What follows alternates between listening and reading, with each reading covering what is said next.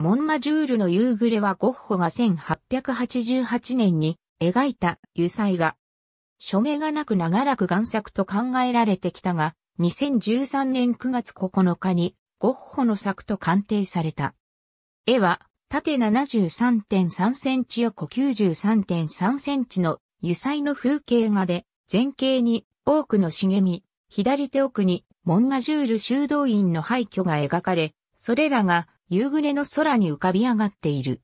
これはゴッホが当時住んでいた、アルルの町外れにあたるモンマジュールの丘の風景である。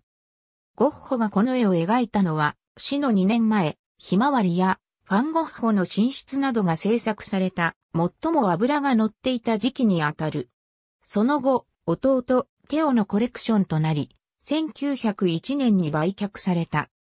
1908年に、ノルウェーの実業家、収集家のクリスチャン・ニコライ・マスタットは、当時のオセロ国立美術館館長の勧めに従って、この絵を購入したが、後にフランスの中スウェーデン大使からこれは贋作か別の画家の絵だろうと指摘され、奮撃した所有者はこの絵を屋根裏に放り込み、そのまま長い間放置されることになった。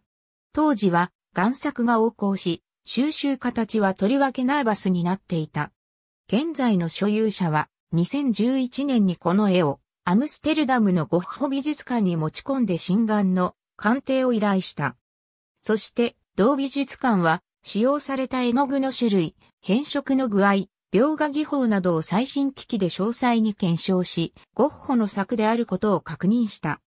またゴッホが弟のテオに宛てた1888年夏の手紙2通にもこの絵に関するとみられる言及があった。7月5日の手紙にはこうある。昨日の夕暮れ時、とても小ぶりのねじれた多くが何本も生えている、岩場った荒れ地にいた。向こうの丘には廃墟があって、他には麦畑になっていた。それは、これ以上ないほどに、ロマンチックで、モンキセリの絵のようだった。茂みと地面には、太陽から、巻色の光が降り注ぎ、まさに黄金のシャワーだった。